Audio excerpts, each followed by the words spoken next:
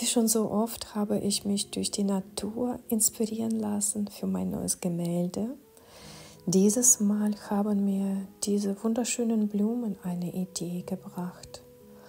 Und damit bin ich dann zurück in mein Atelier und habe direkt angefangen zu malen. Ich lade dich jetzt also ein, mach es dir bequem und genieße diesen Film und lass dich natürlich dadurch inspirieren.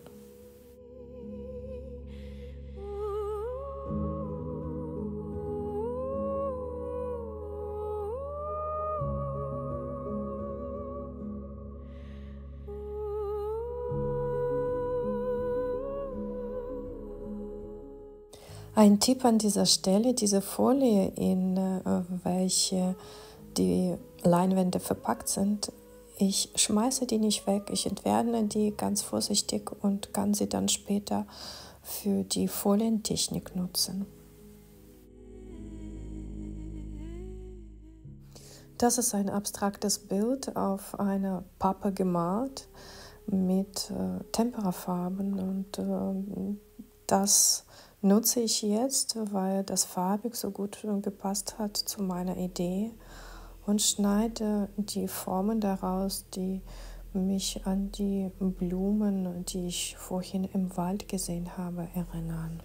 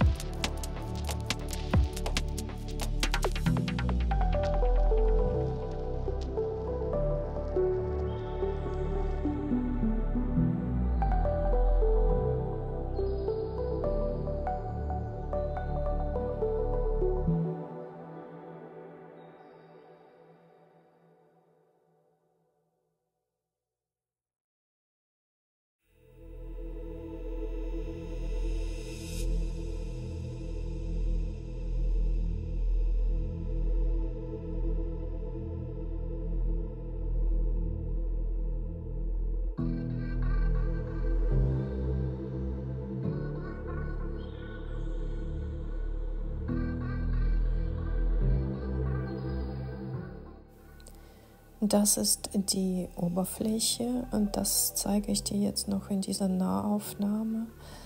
Es ist jetzt alles feucht und ich lasse das Bild jetzt erstmal trocknen und am nächsten Tag geht es dann weiter.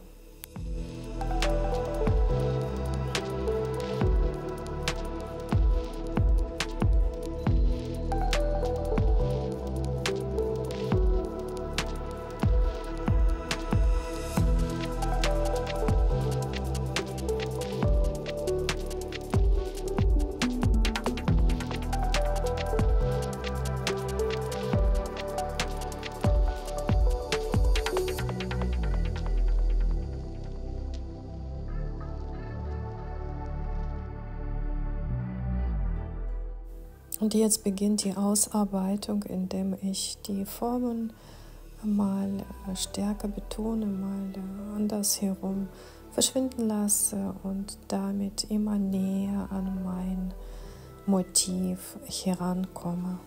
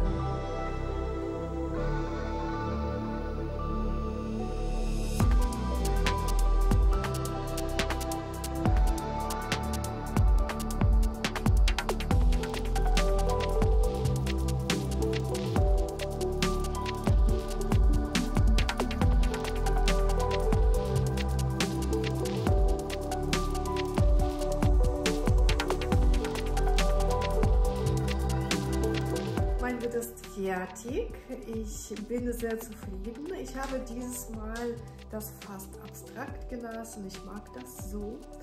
Und trotzdem sieht man da eine Person, die einige Vögel um sich herum hat. Ähm, dann gibt es auch eine andere Person mit einer Baskenmütze, die so von der Seite hinauf schaut.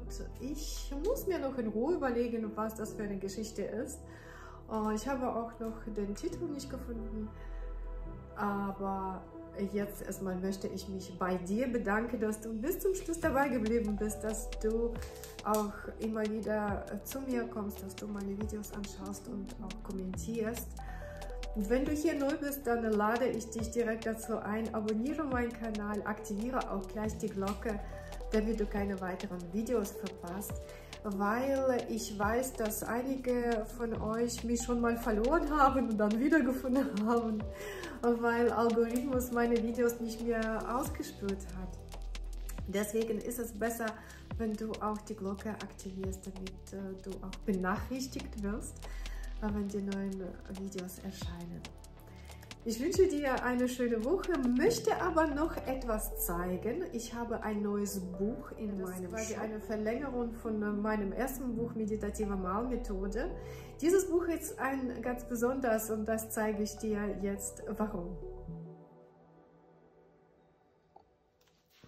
Dieses Buch ist schon länger ähm, zu haben, gibt es zu kaufen. Äh, das hier ist aber in meinem Shop neu. Ich habe mit diesem Buch mit meinen ähm, Mentis gearbeitet. Das ist also ein Mentoring-Programm. Ich lage das auf. Ähm, dieses Buch ist nach Mima aufgebaut. Es ist eine kreative Reise zu sich selbst.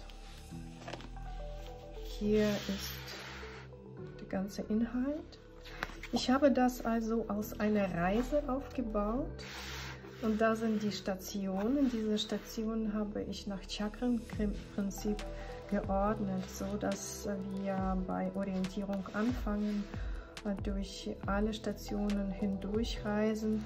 Äh, bei jeder Station gibt es Aufgaben äh, und letztendlich kommen wir bei Spiritualität an. Hier ist nochmal die Beschreibung. Und dann geht es los mit den Aufgaben. Was ähm, noch besonders an diesem Buch ist, zu jedem Thema, zu jeder Station gibt es ähm, QR-Codes, die du ablesen kannst. Da sind die Meditationen hinterlegt, sodass du auch wirklich aktiv meditieren kannst und auch hier drin malen kannst. Malen, schreiben. Äh, hier gibt es äh, verschiedene Tabellen zum Ausfüllen mit Fragen. Äh, und es gibt auch Videos, die du auch per QR-Code abrufen kannst. Das sind immer die Mandalas, die du dann nach einer Anleitung malen kannst. Zu jedem Chakra malst du also dann auch eine Mandala. Es ist ein sehr schönes Buch. Ich habe ein sehr gutes, positives Feedback für mein Programm bekommen und dachte, ich möchte dir das nicht vorenthalten. Also kannst du dir das jetzt in meinem Shop holen.